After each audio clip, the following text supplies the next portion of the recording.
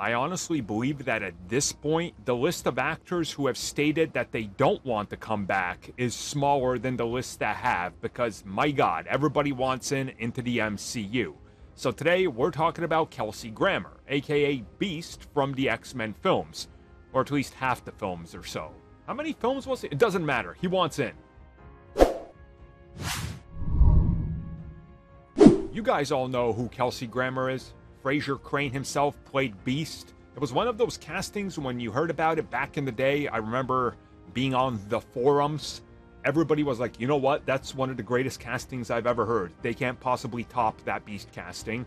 And as much as I love X Men First Class, they definitely did not. Again, I loved the Beast in that, and I loved what he looked like, more Ultimate style, but Kelsey Grammer just brought this sort of um energy and how do I say um pristine?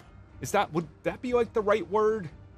I, I don't know. Look, what I'm trying to say is he was perfect as Beast, and it's like that Wolverine type of casting where you kind of think about it, you're like, I honestly don't know if I want anybody else to play the character. And again, nothing against um Oh god, what was his name in first class? Nicholas Hoult. no, I didn't pull that out of my head. I had to take 30 seconds to Google it. I'm such a fake fan. Anyways, though, I want to see Beast back. I would love to see Kelsey Grammer back. A couple years ago, he said he wants back in and he would be excited to do it. And again, he was speaking with MovieWeb and he said, Look, if they don't ask me to come back as Beast, I'm never going to Disney again.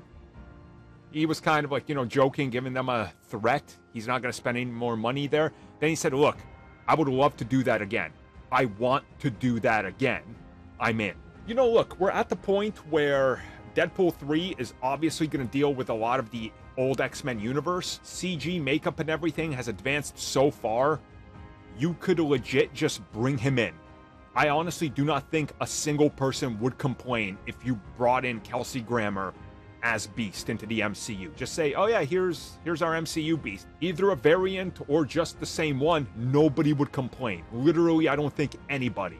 Even people I know who aren't big comic book fans, who have fallen off watching comic book films when they used to watch them back in the day, they loved his portrayal because it was so good. And I do hope that maybe if they're going to do something like merge universes or something, honestly, you know what? Just bring both of them in. It happened in the comics. They were coexisting at the same time. They still might be. I don't remember what's been going on. Um, but yeah, why not? Would you guys want to see Grammer back as Beast? Because I'm in. If they want to do it, put them in, please.